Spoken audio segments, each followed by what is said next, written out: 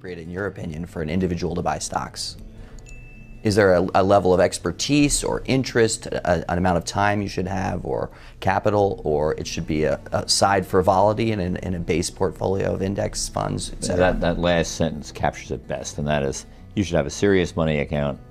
I might even call it a boring money account, where you put money in the stock market index fund and balance it out a little bit with some bonds, depending on age and so on.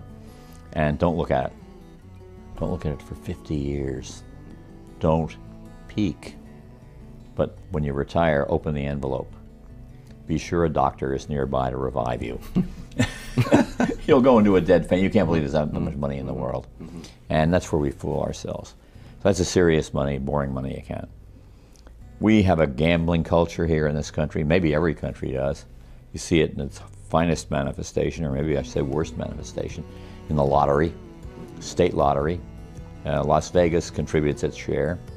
Uh, the racing the races contribute their share, the track, and all always just gambling, uh, where you know a whole lot of people bet their money, and a whole lot of people take their money out, and the croupier wins. The, the three, wins. three to twenty percent of yeah, whatever been it is. You put a dollar in, you're um, gonna lose. So uh, I'd say have a funny if, if, if you have the gambling instinct, and most people do. At least start off. I mean, I'd say start off with an index fund. Period and for five years don't do anything else. And then look around and see what's happened in the five years. See how it felt when the market dropped 50%. See how it felt when it came back. and those five-year periods are going to be very different for one investor and another, but because uh, they're all you know over time. But uh, then when you get there, 5% in the funny money account. What would have happened to Warren Buffett if he had done that? He would have a tremendous amount of value would not have been created by his his his understanding and ability to evaluate a business for investment? Well, name two. well, Longleaf, you mentioned Longleaf, Dodge well, Cox, but they, they, don't have the sensational returns. They may probably have something above par returns, but maybe a little bit below par from time to time. Mm-hmm. So, um, and then don't forget in Warren's case, he wasn't running a mutual fund. Mm-hmm. The mutual fund is a badly structured business for investment management. We say, and this is the way it has to be really, you can take your money out whenever you want, and you got to be ready to put it in whenever you want. And so you ride on these waves of optimism and good performance, and the money comes in up here, and then reversion to the mean, which is a big part of my recent book, a big part of the final chapter of my recent book called Clash of the Cultures, and it's happened everywhere. It's happened in Magellan Fund. It's happened in T. Rowe Price Growth Fund. It's happened in our old iVest Fund. It's happened in Fidelity Trend Fund that Ed Johnson happened to have run. It happened in CGM, all the hot funds. They were all in there for the last 25 years, and they all look like this. You lap, put them over each other, looks like the Himalaya Mountains.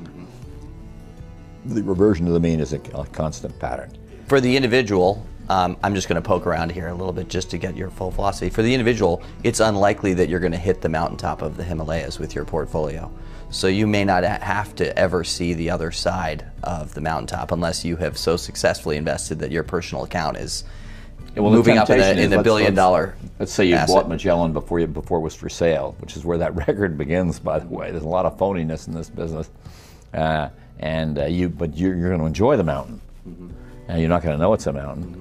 But when that mountain gets up there, you think, my God, this I found the holy grail. Now I'm really going to go all in. And now I'm going to go all out. So there's a lot of behavioral kind of stuff, not to use too fancy a word, in the mutual fund industry. Mm-hmm, mm-hmm. Interestingly enough, Tom, there is no behavioralism in the field of stocks generally. How could that be? That is because I'm a dumb behavior. The guy that buys my stock from me is a smart behavior.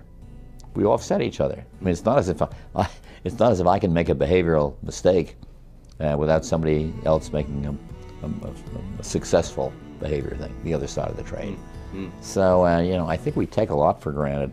We listen to all these theories, and big, old, boring indexing is the answer. Have you ever bought individual stocks and or actively traded funds and if so what do you look for in those investments well I, when i came into the business i had friends in the brokerage business i bought this and that and the other thing and then i had a broker and he would tell me this was good, get out of that and get into that.